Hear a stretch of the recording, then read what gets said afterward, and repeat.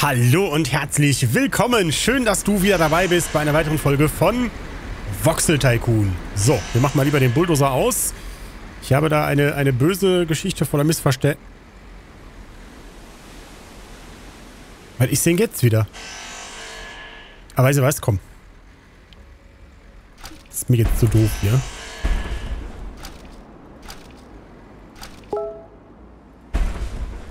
Kann ja alles nicht wahr sein. Ich wollte gerade sagen, so in der letzten Folge haben wir dieses große Problem gelöst, dass hier irgendwie die Sachen nicht ankommen.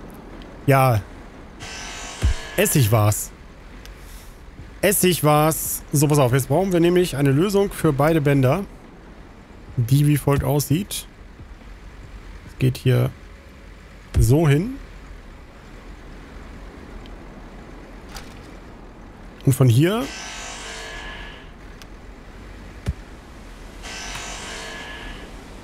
eine Abzweigung an das Band.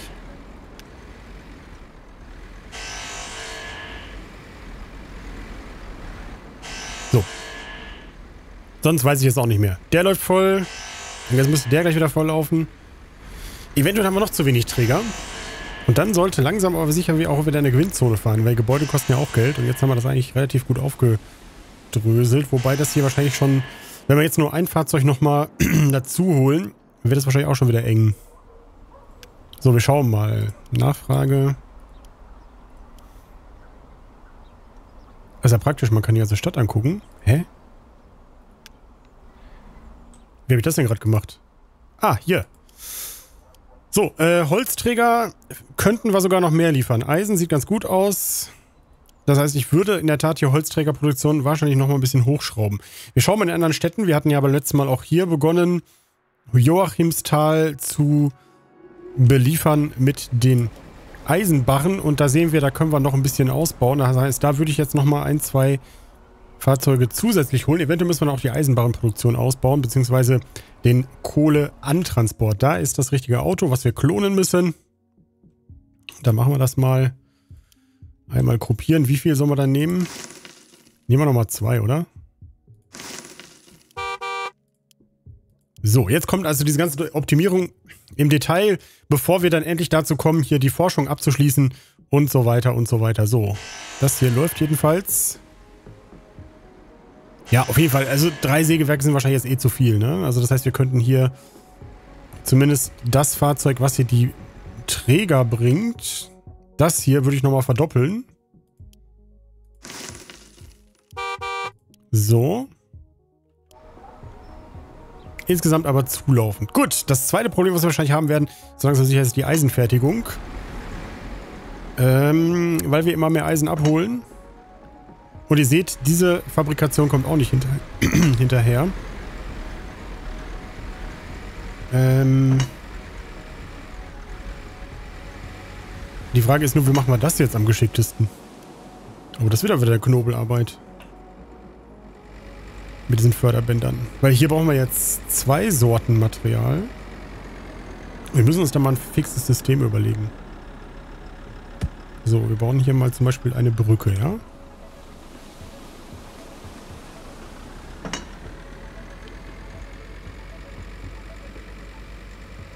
Ähm, zwei?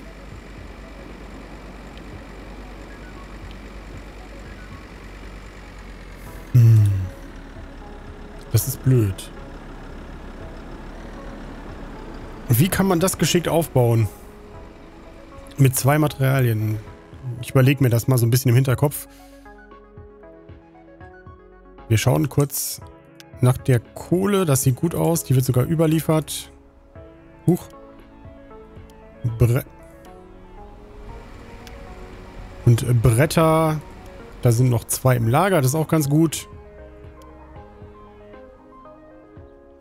Und wie können wir denn hier 19. Oktober die Ortschaft Zell hat Großstadtniveau erreicht. Das heißt, die wird noch weiter wachsen. Ach du dicke Minna, ihre Freundin. Eieiei. Na gut, so, also wir brauchen eine Lösung. Ich meine, wir spielen so viel Satisfactory. Wir brauchen irgendwie eine Lösung, wie wir diese Förderbänder vernünftig anschließen können, damit wir hier die Produktion ausbauen. Also, wir haben hier bei diesen Ofen zwei Eingänge, die nicht ganz symmetrisch liegen. Und wir bräuchten irgendwie eine Lösung, wie das eine Förderband über das andere drüber geht. Und das braucht ja nur ein Feld zu sein. Also so zum Beispiel. Ist natürlich ziemlich teuer.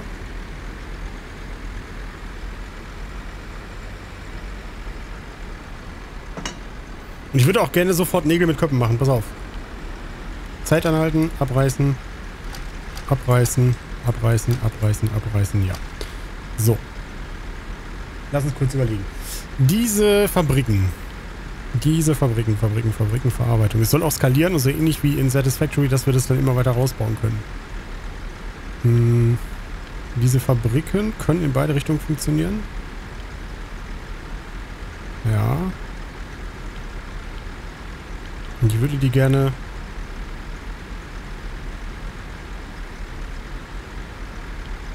so hinbauen, dass wir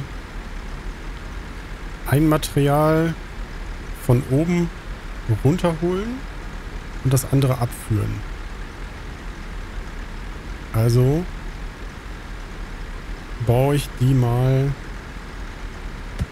hier hin, die erste. So. Dann, sehr simpel ist die Geschichte hier. Einfach durch, fertig. So. Die Geschichte hier, das ist die Abführung. Die ist auch relativ simpel. Da werden einfach hier die Bänder werden hier durchgeführt und landen dann hier hinten. Und dann von hier gehen die hinten rein. Das ist auch sehr simpel. So, und dieses Band hier geht ein Feld nach oben. Und dann in einem durch hier. Natürlich ziemlich teuer. Aber wir machen das jetzt erstmal. So. Das ist jetzt auch nicht sehr platzsparend gebaut. Geht das noch enger?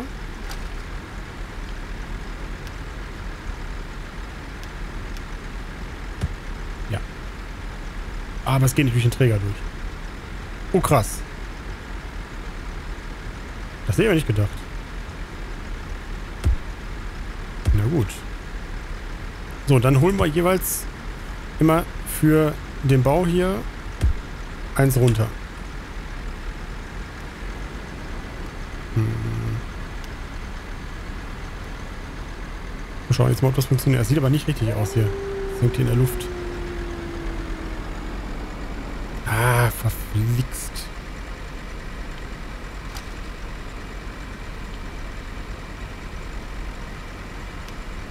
Hm.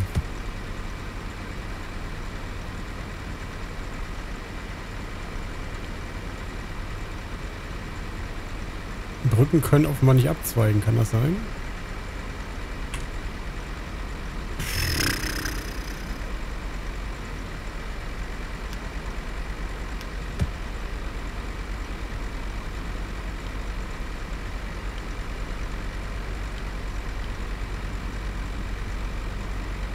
Kann man die denn daran äh, stecken?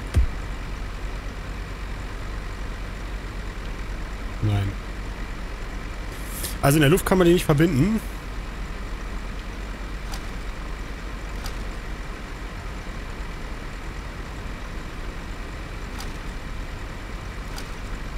Was ein Problem darstellt. Das heißt, wir müssen hier immer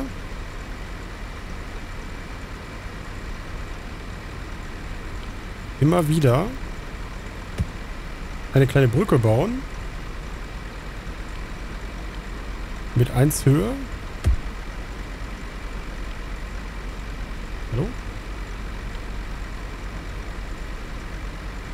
Wieso sind jetzt 2 hoch?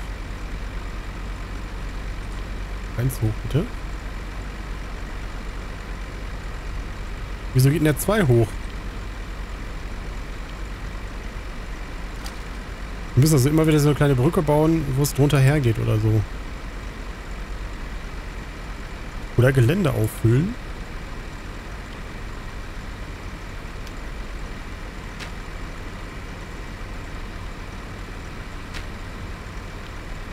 Das ist wahrscheinlich einfacher zum Legen.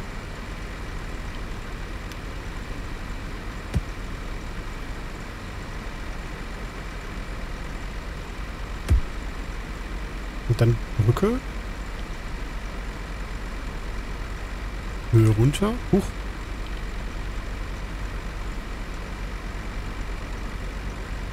Ja, das wäre schön gewesen. Ich fand es eine tolle Idee.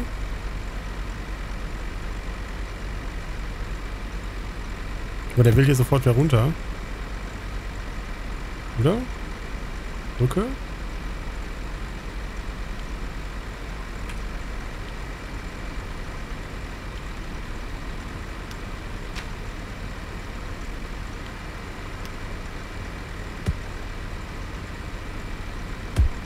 So geht's. So geht's eventuell. Gut.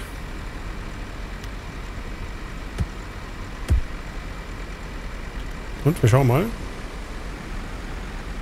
Das ist schon ganz schön mies.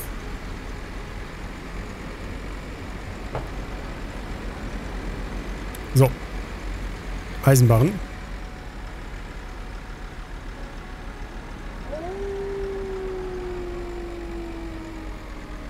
So, dann würde ich ganz einfach die zweite Fabrik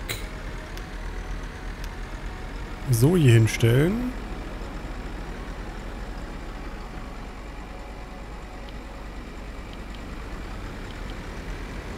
Dass die genau das gleiche tut, nur anders. Hä? So. Ist sie gerade zurückgesprungen? Hä? Ist sie gerade von alleine zurückgesprungen? Das doch nicht symmetrisch, oder? Heißt, komm, ist, ist egal. Wir wollen jetzt mal vom Prinzip her gucken, dass das geht. So. So. So. Wir hätten das hier gar nicht machen brauchen, ne?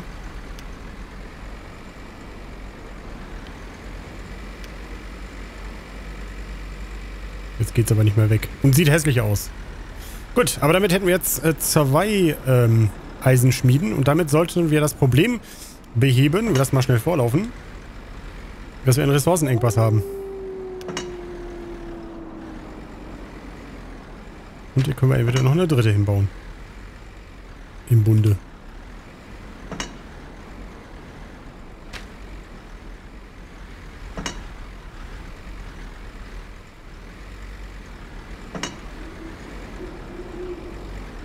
Und wir müssen das irgendwo drüber führen, ne? Wir können nicht einfach... Ist noch zu wenig. Ist noch zu wenig. Also eine dritte können wir noch ohne Probleme bauen. Ich meine, es freut mich ja, dass wir so viel Nachfrage haben. Ne? Blüht das Geschäft. Wir gehen mal kurz auf Pause, weil ich mich gerade konzentrieren muss. Ähm so, pass auf. Drehen wir mal um. Versuchen das nochmal genauso wie da oben. Also so. Ist ein bisschen Platz sparen hier, ne? So, dann Kohle abzweigen. Eisen.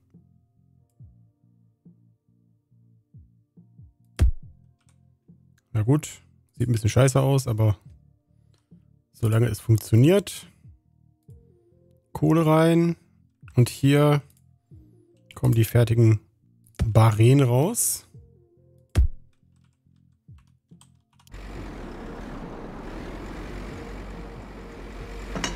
Ja. War jetzt ganz schön teuer, aber die Kohle fehlt. Das heißt, wir müssen jetzt noch ein, zwei Kohle-LKWs extra bestellen. Und dann haben wir diese Eng Engpasskrise auch gelöst. Sehr schön.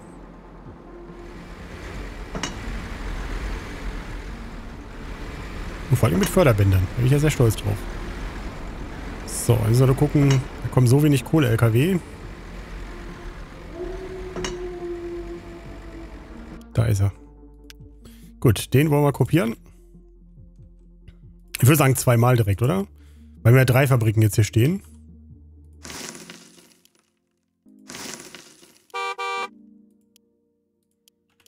So, ja, und in der nächsten Folge siehst du dann, wie sich das hier einfädelt und ob wir dann endlich äh, die Forschung beenden und äh, weitere Kohle haben für andere Sachen. Weil, ja, die Forschung könnten wir möglicherweise noch nicht beenden und das geht auch gerade sehr stark für unsere Finanzen, weil wir eben jetzt gerade nicht sehr wirtschaftlich gearbeitet haben.